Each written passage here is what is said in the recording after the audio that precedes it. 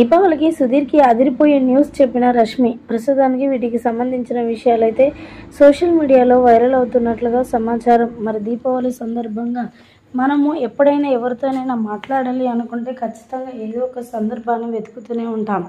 ఇక రష్మి కూడా అదే పని చేసినట్లుగా తెలుస్తోంది.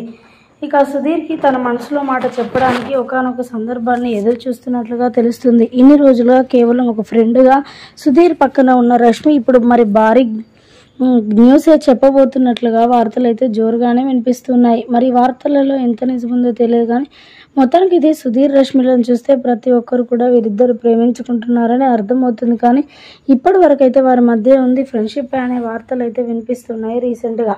అయితే వీరిద్దరి మధ్య ప్రేమ లేదంటే స్నేహం అనేది వారి చుట్టూ ఉన్న స్నేహితులు చెప్తేనే అర్థమవుతుంది. కానీ దీపావళి సందర్భంగా మరి రష్మి సుధీర్కి భారీ న్యూస్ అదిరిపోయే న్యూస్ చెప్పనున్నట్లుగా వార్తలు అయితే వినిపిస్తున్నాయి. అయితే ఇక ఫ్యాన్స్ అనుకున్న లెక్క ప్రకారం అయితే మరి రష్మి సుధీర్ని ప్రేమిస్తున్నట్లుంది. అందుకే ఎప్పుడు కూడా రష్మి సుధీర్కి ఐ లవ్ యూ చెప్పలేదు కాబట్టి ఇప్పుడు దీపావళి సందర్భంగా చెప్పబోతుందనే వార్త అయితే కామెంట్ రూపంలో ఎంతగానో వస్తూ ఉన్నాయి.